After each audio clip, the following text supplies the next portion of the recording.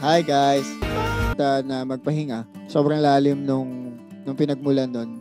Actually, mabilis siyang nasulat kasi napakabigat nung nararamdaman namin nung nasulat namin siya. Nagka-COVID kasi yung kapatid namin.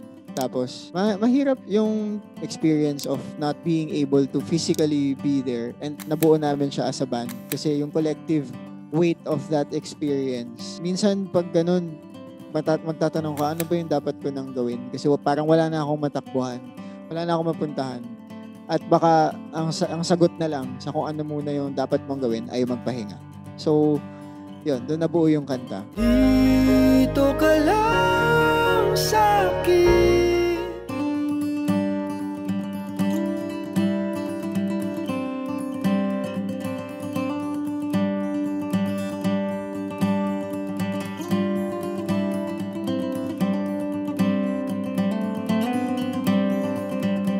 Nabuo kami noong 2017.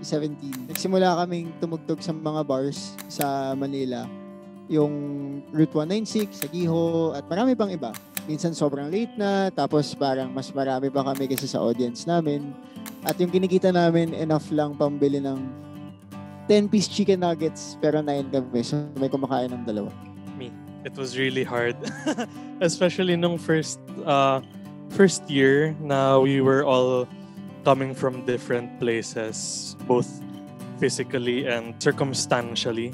We were part of different bands. We were living in pretty far places. We were doing different things. There were a lot of times we'd have to spend a lot more to get to the gig than what we'd get out of it. We were willing to make that sacrifice because we loved being there and we loved playing music, writing music, performing for people. Tapos, yun, na-feel namin na ano, gusto namin lahat yung ginagawa namin. Well, a lot of our, or if not all of our songs are from very personal experiences. They're almost like diaries of of some sort. And I guess making it deeply personal makes people feel like they're reading into something that's as personal as their own experiences. And that's always been our philosophy.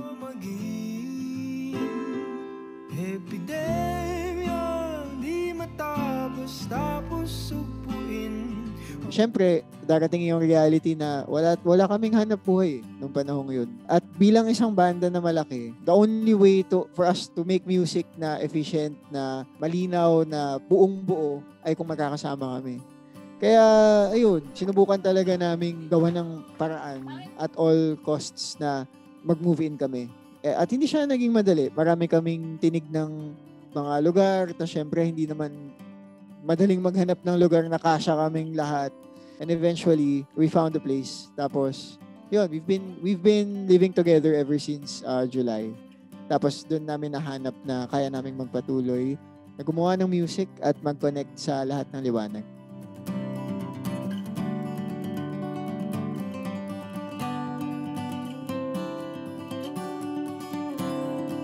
make music that is meaningful. I think what the pandemic has taught each and every one of us is that we need to treat each other with kindness and compassion. Kasi hindi mo naman talaga alam kung ano yung pinagdadaanan nila. Narealize din namin yung value ng time.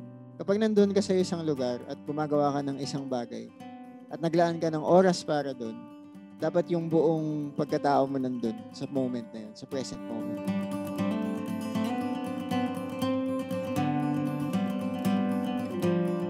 Eh, pero ano, talagang ano, uh, I think we're really pushing the limits of our capabilities, our musical exploration, and and the things, the new things that we're trying. But at the same time, ano rin, we're we're firmly grounded in our roots as well. But I think we're very excited by this kasi